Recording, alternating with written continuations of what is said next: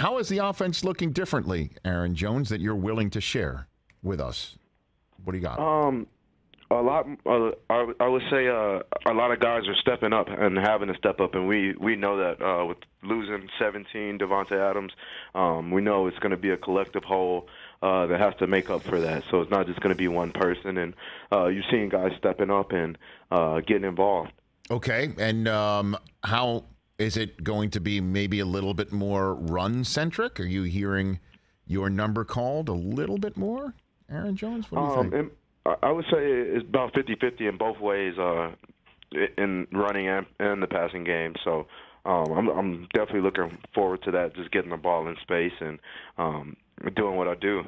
So you're not going to tell us. You're, you're not going to tell us the, how the offense is different. Is basically what you're saying, Aaron. You can be honest. You're just not going to. I, tell know, I mean, we still we still have this, pretty much the same offense. Okay, pretty much. It's just a different guy who's in there. And I know uh, for for 17, as you mentioned, uh, I know Aaron Rodgers talking uh, about Allen Lazard yesterday said, you know, going from one Hall of Famer to another Hall of Famer is going to take an adjustment.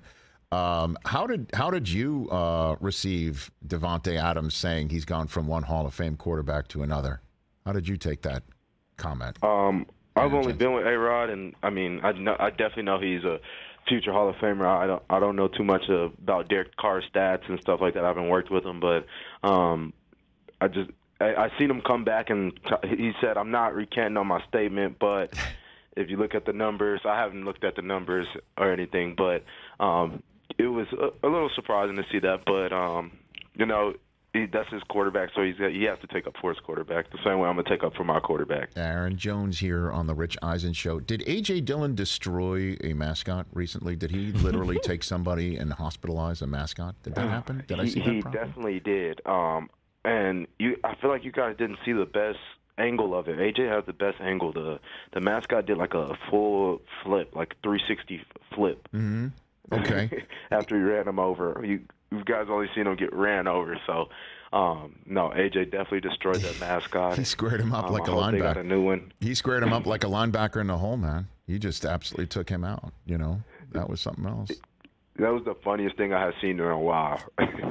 So uh, that's just, an, I, I I know that we in the media sometimes take fun videos like that and say, well, this guy's ready to go, um, even though it's just a mascot. But I, I, I mean, your one two punch that you can com- provide at the running back position is as good as it gets in the NFL. I'm wondering how the two of you, uh, you know, get along, hang out. What's your relationship, the two of you, like, Aaron Jones? Oh, we have a we have a great relationship. Uh, AJ has been my little brother since he came in, and uh, he was here with me and Jamal, and I think he got to see the way that we bonded and connected. And uh, now it's me and him, and we're we're bonding and connecting the same way.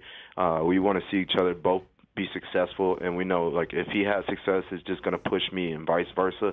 And then we can communicate, hey, this is what we're seeing on the field, or uh, this is this is what blitz is coming, this is the rotation, things like that.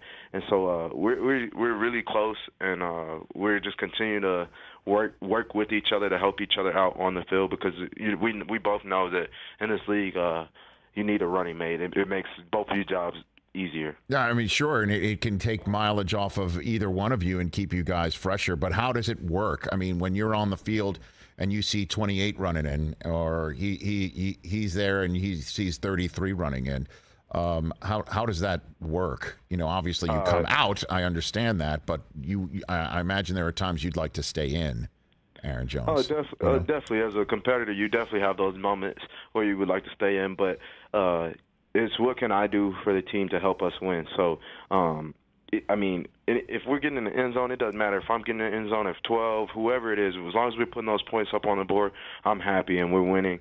That's that's all that matters at the end of the day. Uh, I mean, stats and accolades are nice, but at the end of the day, we have one main goal, and that's to win the Super Bowl. Aaron Jones here on the Rich Eisen Show from the Green Bay Packers.